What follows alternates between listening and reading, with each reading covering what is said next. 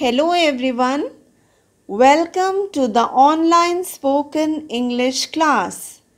In our last module, we have learnt that the prepositions are the words which tell us about the position of an object or a person. In this module, we will learn about three prepositions between, behind, and in front of. Let us know about the preposition between. Between is used to refer to an object or a person whose position is in the middle of two objects or persons. Now look at the picture. Can you tell me the position of the apple? Yes, it is between the boxes. So we can say that the apple is between the boxes. Please repeat after me. The apple is between the boxes. The next preposition is behind.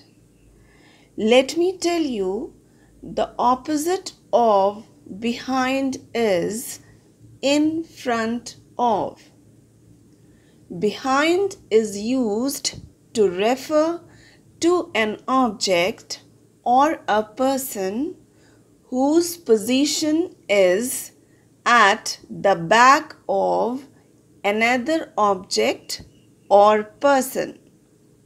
Now look at the picture.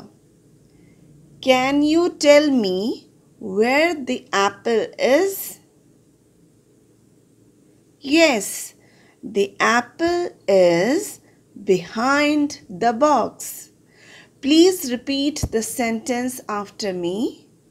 The apple is behind the box.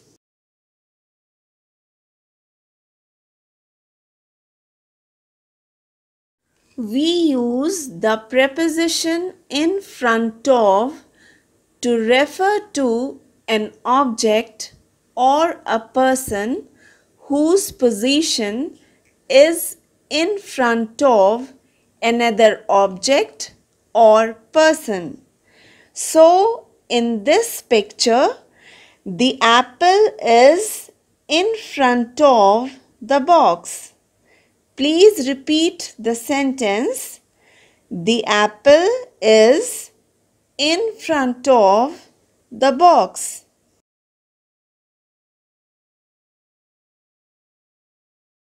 We have learnt about three prepositions between, behind and in front of. Now let us read some more examples. I am reading the sentences.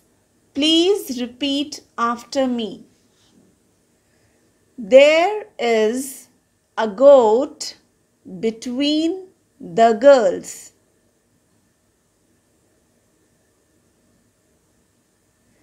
There is a restaurant between the bank and the hospital.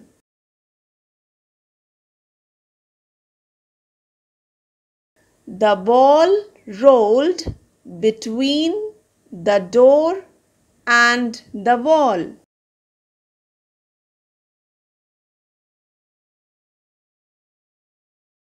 The dog is behind the fence.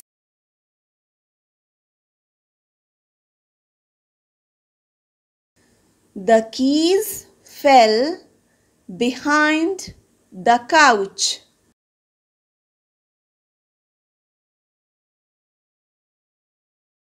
Ritik sits behind Aditya in the class.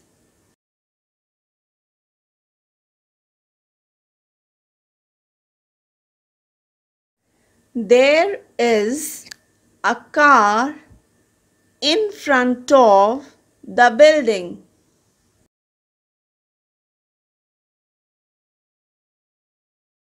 The school bus was parked in front of the school.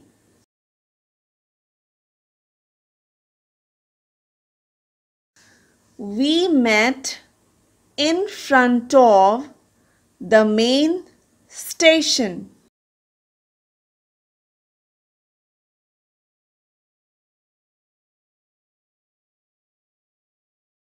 Dear friends, in this module, we have learnt about the usage of the prepositions between, behind and in front of.